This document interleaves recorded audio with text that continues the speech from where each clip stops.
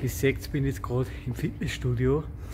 Heute ist der neunte Tag und mir geht es jetzt sehr gut. Und da es mir jetzt so sehr gut geht, haben wir sich gedacht, schauen wir ins Fitnessstudio. Es ist Sonntag, es ist so gut wie gar nichts los, also es ist eigentlich kein einziger hier. Äh, das ist voll angenehm, das Trainieren. Äh, ja, auch wenn man sich körperlich sehr gut fühlt.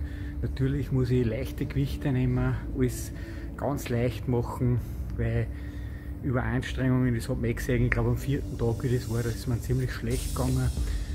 Und ja, ich hoffe, dass es mir morgen besser geht, weil morgen muss ich trotzdem wieder auf der Baustelle antreten, aber ich glaube schon, dass ich jetzt über den gröbsten Berg drüber bin, dass jetzt die Phase der Energie kommt, wo sich sozusagen ähm, der Körper aus dem Fett äh, die Energiereserven holt und das ist jetzt eine ganz effiziente Phase, in die ich jetzt einsteige. Da glaube ich, wird sich in den nächsten ein, zwei Wochen wieder gewaltig was tun. Und ja, das war halt das Kurzresümee vom Tag 9 und wir sehen uns morgen wieder.